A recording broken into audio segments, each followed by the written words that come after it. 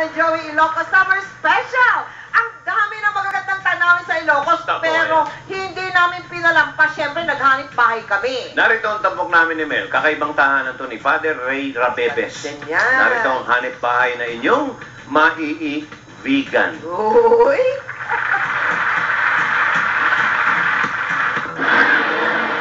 Dito sa Ilocos, ang bahay na ito ay luma pero bago. Luma pero bago? Bagong luma? Ah, ano ba talaga? Ito ang tahanan ni Father Reynaldo Reveles. Ang kanyang hanip bahay na siguradong inyong maiibigan. Hello, welcome, uh, Mel and Joey. Uh, this is Father Ray. This is our family vacation house in uh, Ilocos.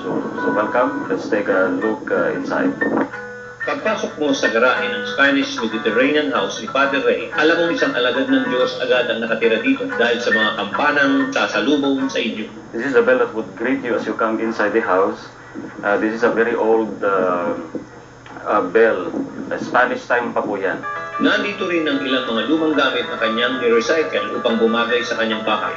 We call this uh, takuli. Ito yung dinadala ng kalabaw sa bukid daw na dito nilalagay yung mga yung uh, rice grains at dito na pinapound yung uh, yung rice. Dito po makikita nyo yung isang lumang uh, cartwheel uh, kinard po yung uh, ang image ng Madonna and Child. So it has now become a very uh, beautiful uh, uh, piece of art. At kahit ang mga bricks na kanyang ginamit dito sa bahay ay mula din sa mga tinimolish na lumang bahay sa iba't ibang bayan ng Ilocos. napaka-homey at the same time very nostalgic din ang dating kasi sa lumang bahay din kasi galing ang mga ang mga bricks. So let's take a look inside the house. Pagpasok mo pa lang sa loob ng bahay, sasalubong ka agad sa iyo ang isang sala na mayroong mataas na ceiling. Isang sala na kakikitaan ng isang very tasteful design. Inside this house you will find a lot of uh, interesting pieces. Tulad ng lumang bangka na ginawang tokador. Right after nung nakita ko to, I I knew what to to do with it and uh, ito, ito na yung resulta.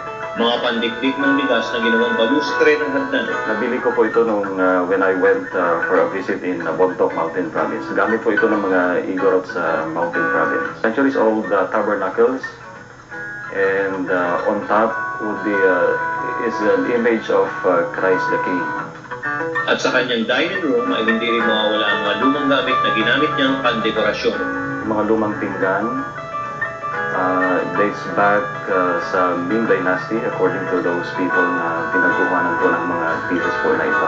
The house has a second floor at kung makikita niyo po itong taas, uh, you find uh, yung cartwheels din po. And uh, yung nasa gitnang kahoy po, yung uh, base actually ng at hindi Ilocano we call it uh, the dapilan. Nandito sa ikalawang palapag niyo makikita ang ilan pang mga lumang gamit na pambukid na kanyang ginamit ding pandekorasyon sa bahay.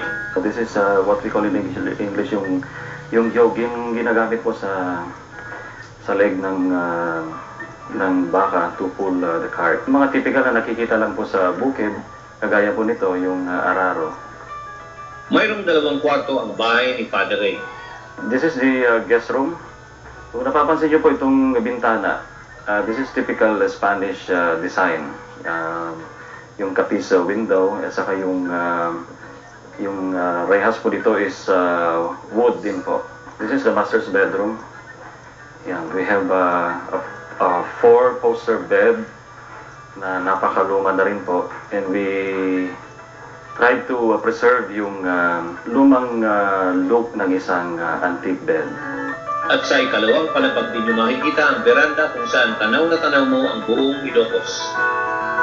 Siguradong kahit sino ang bumisita sa tahanan ito ni Father Ray Rebebes ay talagang maiibigan ang kanyang bagong lumang bahay. Uh, Mel and Joey, sana nagustuhan niyo yung pag-tour sa aming uh, munting tahanan. Ang galing, no? Kahit luma pa yung mga gamit, mapapakinabangan pa din. Oh, mamaya atin dad- dadayuhin. Mhm, dadayuhin natin yung bayan ng San Nicolas.